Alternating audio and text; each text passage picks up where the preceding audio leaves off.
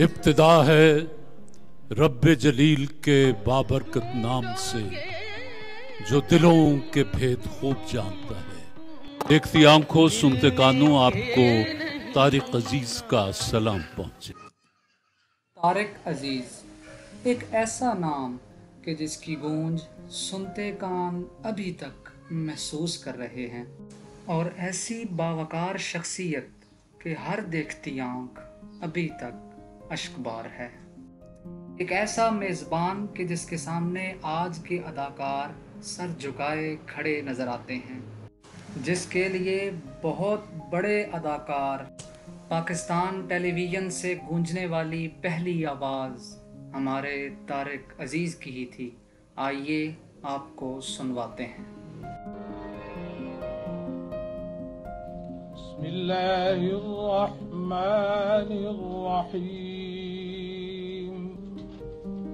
अस्सलाम वालेकुम Pakistan television service की जानिब से तारिक अज़ीज़ आपसे मुखातिब है। खबर हजरात आज जुमेरात है और नवंबर की 26 तारीख। आज का यादगार दिन पाकिस्तान में टेलीविज़न के हवाले से एक तारीख साज दिन है। आज वो दिन है जब अपने शेर पढ़ने का एक मखसूस अंदाज। ਹਰ ਇੱਕ ਕੋ ਮਸ਼ਹੂਰ ਕਰ ਦੇਣੇ ਵਾਲਾ ਥਾ। ਕਿਸ ਦਾ ਦੋਸ਼ ਸੀ ਕਿਸ ਦਾ ਨਹੀਂ ਸੀ, ਇਹ ਗੱਲਾਂ ਹੁਣ ਕਰਨ ਦੀਆਂ ਨਹੀਂ। ਵੇਲੇ ਲੰਘ ਗਏ ਤੋਬਾ ਵਾਲੇ, ਰਾਤਾਂ ਹੋ ਕੇ ਭਰਨ ਦੀਆਂ ਨਹੀਂ। ਜੋ ਹੋਇਆ, ਇਹ ਹੋਣਾ ਹੀ ਸੀ, ਹੋਣੀ ਰੋਕਿਆ ਰੁਕਦੀ ਨਹੀਂ।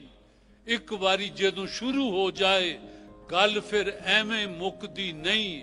ਕੁਝ ਉਂਝ ਵੀ ਰਾਵਾਂ ਔਖੀਆਂ ਸਨ ਕੁਝ ਗਲ ਵਿੱਚ ਗਮ ਦਾ ਤੌਕ ਵੀ ਸੀ ਕੁਝ ਸ਼ਹਿਰ ਦੇ ਲੋਕ ਵੀ ਜ਼ਾਲਿਮ ਸਨ ਕੁਝ ਮੈਨੂੰ ਮਰਨ ਦਾ ਸ਼ੌਕ ਵੀ ਸੀ यूनिवर्सिटी फैसल आबाद से मिर्जा मरातब अली एक दस्तक पे वो दरवाजा नहीं खोलेगा उसको मालूम जो है मैंने खड़े रहना है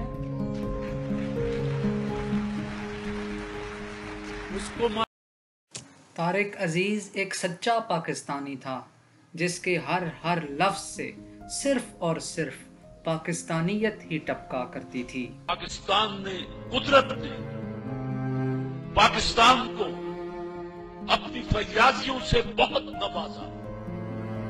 इमरानियात के तालब कहते हैं कि अगर किसी मुल्क को देखना हो कि उसको कितना अमीर है खुदा का कितना कर्म है उस मुल्क पर। तो ये पूछे कि क्या उस मुल्क के पास समुंदर है? पाकिस्तान के पास समुंदर है। फिर वो कहते हैं ये देखें, उसके पास पहाड़ हैं। दुनिया की आठ खूबसूरत तरीन और बुलंद तरीन चोटियों में से छह पाकिस्तान के पास की फिर कहते हैं, क्या उसके पास रेगिस्तान है? हमारे पास थर का रेगिस्तान है चोलिस्तान का रेगिस्तान है। फिर पूछते हैं कि क्या उसके पास मैदान भी है? पाकिस्तान का 40 फ़ीसद रकबा मैदानी है।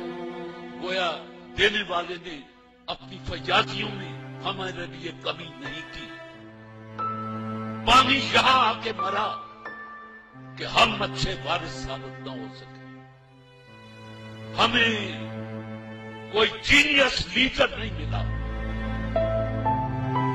आज लोग दो सड़कें बना के, चार पुल बना के, दो तालाब बना के, और बड़े फखर से अखबार में तस्वीरें छपवाते हैं और बड़े बड़े बयान देते हैं। मैं आपसे गवाही से पूछता हूँ कि मेरे रसूल सल्लल्लाहु अलैहि वसल्लम ने मदीना में, मक्का में कितने पुल बनाए थे? कितनी सड़कें बनाई थी? कोई पुल नहीं बनाया, कोई सड़क नहीं बनाई। क्या बनाया? कौम बनाई। जब कौम बन जाती है, पुल खुद बन जाते हैं, सड़कें खुद बन जाती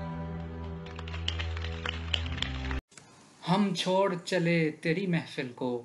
याद आए कभी तो मत रोना। बस दिल को तसल्ली दे लेना। घबराए कभी तो मत रोना। कौन कहता है कि मौत आई तो मर जाऊँगा? मैं तो दरिया हूँ, समंदर में उतर जाऊँगा। 17 जून 2020 को ये सच्चा पाकिस्तानी अपनी आखिरी मंजिल की तरफ़ रवाना हो गया।